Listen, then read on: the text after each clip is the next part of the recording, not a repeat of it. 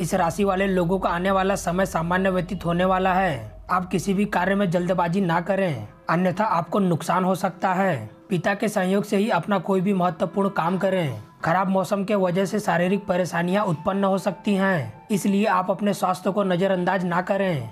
आपके जीवन साथी का व्यवहार अच्छा रहेगा। आप किसी महिला मित्र की सहायता ले सकते हैं। आपको अपनी योजनाओं पर ध्यान देना होगा। साथ काम करने वाले लोग आपके काम में बाधा डाल सकते हैं।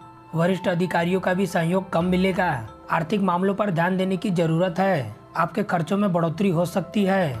इसलिए आप अपने फिजूल खर्ची पर नियंत्रण रखें। अपने संतान की गतिविधियों पर ध्यान देना होगा। घर परिवार के किसी बड़े बुज़ुर्ग की तबीयत खराब हो सकती है, जिसकी वजह से आप चिंतित हो सकते हैं। वह एक राशि कोई और नहीं बल्कि मेष है। तो दोस्तों, हमारे द्वारा दी गई जानकारी आपको कैसा लगा, हमें कमेंट कर ज़रूर बताएँ। और इसके साथ जय भोलेनाथ लिखना ना भूलें।